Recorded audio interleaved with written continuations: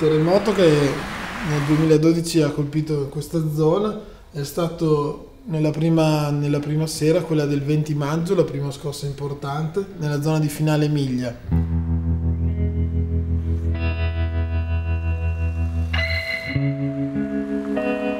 Sono corsa fuori, mi sono vista questa nebbia, questa polvere, io pensavo subito fosse polvere, sono andata in strada e ho visto i miei vicini di casa in mezzo alla strada scalzi che sono corsi giù, mi sono voltata e ho visto che c'era il palazzo dei veneziani, un palazzo del 1600 che era imploso nel mezzo.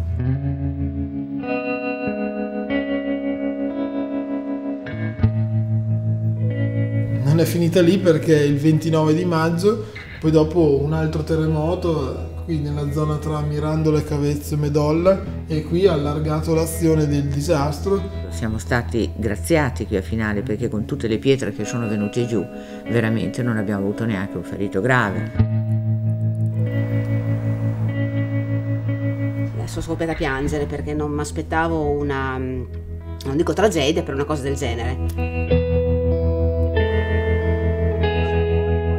Campo, in una palestra con 200 letti, 200 persone, era impressionante vedere come Mirella camminava in mezzo alle persone e salutava. Naturalmente file di gente che arrivavano perché i primi giorni poi i negozi chiusi, tutto il disagio della, di una popolazione che si trova in queste cose.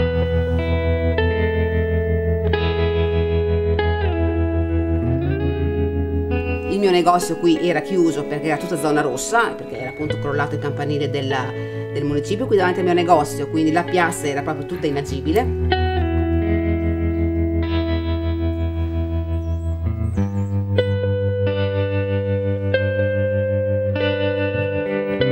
anche le famiglie che invece, ripeto, si rivolgevano a noi come Caritas e io da quelle 120 che ti dicevo prima me ne sono trovata eh, 800 con 1500, 1800 persone eh, da, da servire.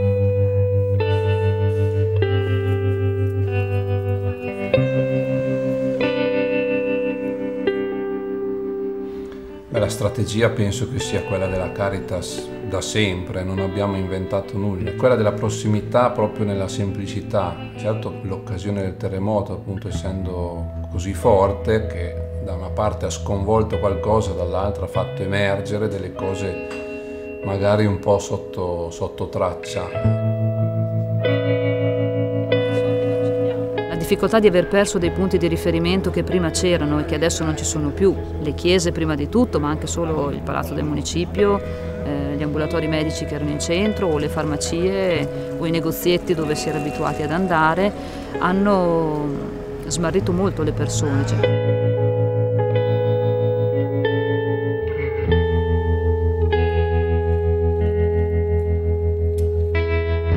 Conseguenza del terremoto è la la distruzione dei luoghi di aggregazione. E sicuramente Caritas Italiana è intervenuta con una scelta, questa volontà di destinare quasi tutte le offerte raccolte anche alla costruzione di questi centri della comunità, che effettivamente sono diventati molto preziosi.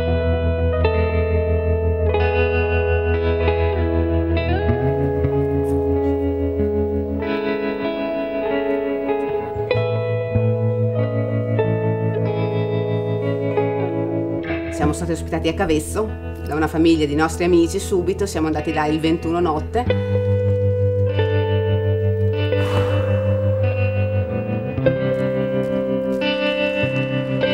Questo fare ricorso alle energie magari sopite o nascoste di una comunità ha voluto dire essere quasi costretti ad aprire gli occhi sui bisogni degli altri.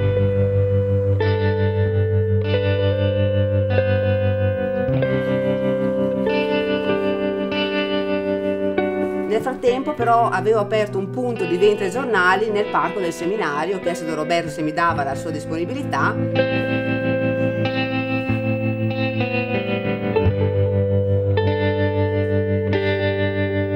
La necessità, il bisogno, l'urgenza di, di, certe situazioni hanno creato una fraternità e un'amicizia che ci eravamo veramente dimenticati.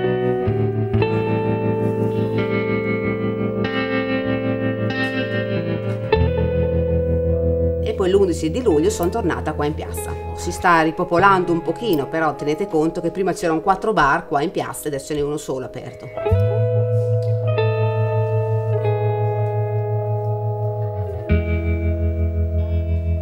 Con l'evento drammatico si cambia registro proprio, si trova il modo di essere utili. Un po' questo cambiamento dal torpore proprio, ancora una volta paradossalmente, è stato utile.